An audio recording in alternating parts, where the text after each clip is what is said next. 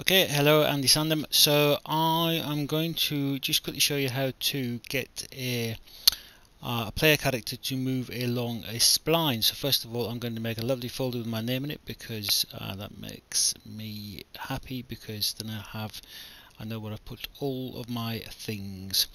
So uh, blueprints so as you can see this is just the, the basic first person template from uh, UE4 version 4.24 so I think I am making a blueprint.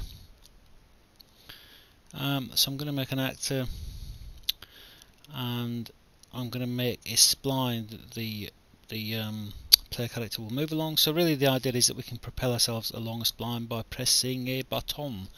So um, if we just go into the viewport and just look uh, at a component which is spline, make sure it isn't spline mesh um, so I'm just trying to clearly give myself a clear naming convention because there's going to be quite a lot of spliny based things. Uh, so I want to make uh, this is the path which will become a variable so we can read it but we uh, let's not get ahead of ourselves Andy. Uh, okay so I've just gone top down so that I can just select the first person character and press F so I can relocate. I'm going to drag my spline in so it's a lot easier I have discovered um, by using the top viewport. If you use the perspective viewport, it goes a bit weird, and also goes a bit weird if you delete the end spline point like I just did there. But um, so you grab hold of the end spline point, that is, and then you just duplicate that, and you can drag that out. So then um, it will um, auto uh, tween. I can't remember the correct term for. Um, so it's basically creating handles that allow you to adjust the curves on the path. So I'll just make a few to make it interesting and certainly uh, enough so that we can actually see that we are moving along the path. Uh, so back to perspectives, you can see this spline in the game now, um, sitting nicely on top of our uh, level geometry. So we want to edit the blueprint of the first person character now. So this is going to be a case of getting it to move along the spline. So um, I'm just going to leave the, well actually I'm going to get rid of jump and spawn projectile um, a bit pointlessly but uh, it just prevents it becoming more confusing. Uh, so I'm just having a look what I need and what I don't need. Um, okay. Okay. Right, so let's have a look. So event begin play, so this is just on the, sorry, so we've already got an event begin play in the level, so this is what happens as soon as the level starts.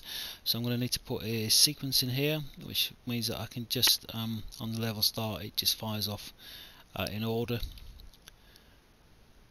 That's the one, keep going, sequence, sequence. I had it.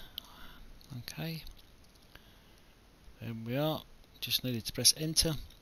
Okay so I need to that's the activation pin always make sure that you've got the activation pin filing. Sometimes uh, blueprints won't work and I'll wonder why and it's because I have not attached the activation pin like an imbecile.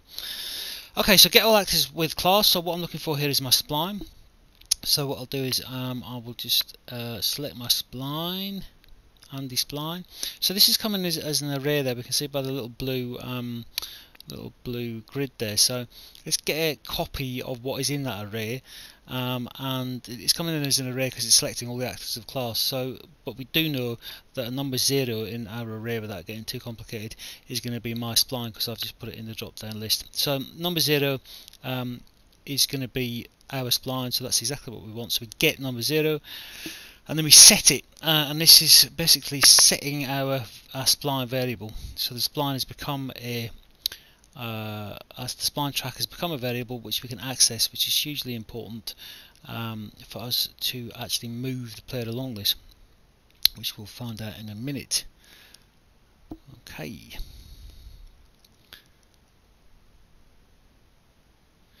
So just making a variable distance uh, which needs to be a float.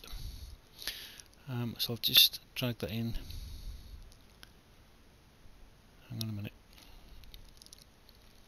Okay, so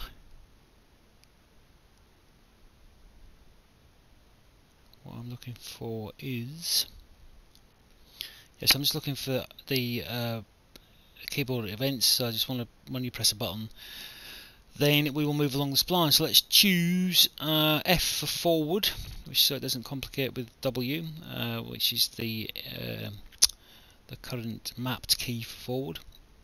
So I just dragged in that variable which is our spline track. Um, and so what we're going to do is so it recognises this is a spline. Hang on.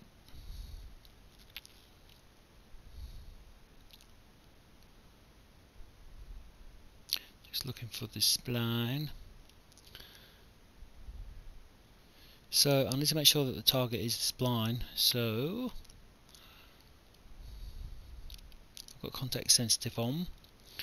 Let me just check. Okay, so set spline track under one. Yeah, so I want to make sure that um, it, the target um, is my spline path um, from the variable. So get the distance, which is uh, other variable. Uh, so we need to find out what the distance is along. Well, I think we need to set the distance along the path. So what we're going to do is get this is a very useful command, obviously. If I can find it. So you know because it's con context sensitive uh, so if I drag out of the spline it gives me the get location at distance along spline which is hugely useful but obviously you need to be careful just change that to world. Uh, you need to be careful that you are pulling out of the correct um, contextual node otherwise it won't give you the correct options which um, sometimes confuses you. Okay so uh, when we press F we want to set the distance um, so as soon as we're pressing F, it's getting the distance and setting the distance. So you know, every time we press F, it's going to find out what the distance is along this spline. Um, and what we want to do here is we're adding we're adding um, a value to the distance. So each time F is pressed, it moves, uh, it adds uh, 10 to our distance variable. And so the next thing we want to do is we want to translate that into the player movement. So uh, yeah. Uh, should be okay so I basically just put in the sequence here because I want to just check the value of the uh, of my variable to make sure uh, in case I need to adjust it. So that's all it's done there. It's just converted my variable into a strings and it'll print it on the console. And the second thing the uh, when we press F will be it'll set the actor location which I just skipped past there but um, so yeah we've put in set actor location. So it's getting the distance setting the distance and then it's uh, getting the location the distance along the spline and then it's setting where the actor is so if all goes according to plan this would work okay so first of all yeah so it hops when I press forward uh, it hops straight onto the um, path, the spline, so the vibration needs to be fixed, but we are hopping along on the spline pressing F. Thanks!